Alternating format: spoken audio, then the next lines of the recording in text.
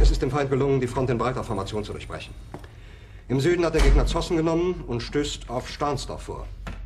Der Feind operiert jetzt am nördlichen Stadtrand zwischen Frohnau und Pankow. Und im Osten ist der Feind bis zur Linie Lichtenberg-Marsdorf-Karlshorst gelangt. Mit dem Angriff Steiners wird das alles in Ordnung kommen. Mein Führer, Steiner. Steiner konnte nicht genügend Kräfte für einen Angriff massieren. Der Angriff Steiner ist nicht erfolgt.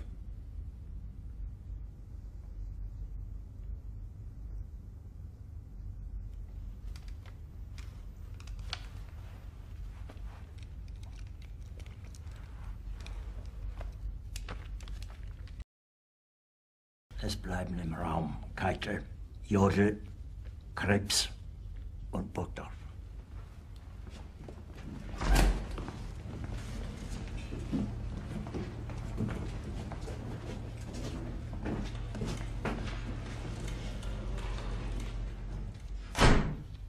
Das war ein Befehl!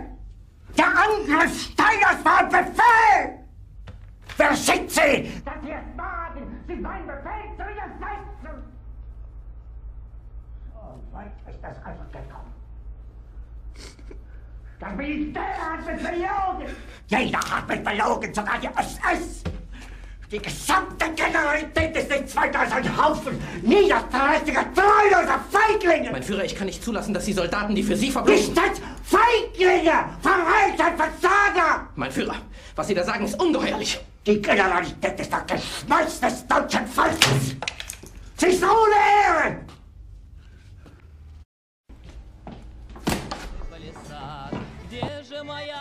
Jim ist eben durchgekommen.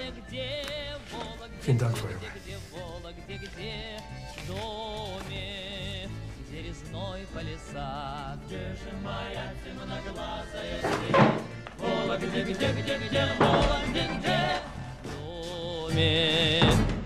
Telekom von Göring. Ja. Er schreibt, mein Führer, sind Sie einverstanden, dass ich nach Ihrem Entschluss in der Festung Berlin zu verbleiben, als Ihr Stellvertreter sofort die Gesamtführung des Reiches übernehme?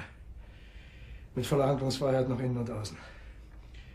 Falls bis 22 Uhr keine Antwort erfolgt, nehme ich an, dass Sie Ihrer Handlungsfreiheit beraubt sind. Es ist Landesverrat und Verrat an Ihrer Person. Görings Sorge ist nicht so unberechtigt. Wenn unsere Kommunikationssysteme zusammenbrechen, und das kann stündlich geschehen, dann sind wir in der Tat von der Welt abgeschnitten. Befehle und Anweisungen können dann nicht mehr übermittelt werden.